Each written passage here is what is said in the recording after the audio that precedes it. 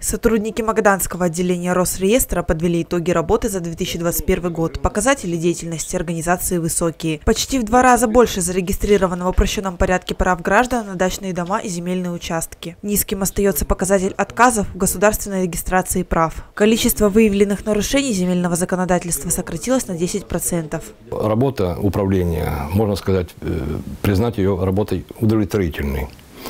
Так, э, по рейтингу среди всех управлений Российской Федерации мы находимся на 12 месте по э, вопросам цифровизации.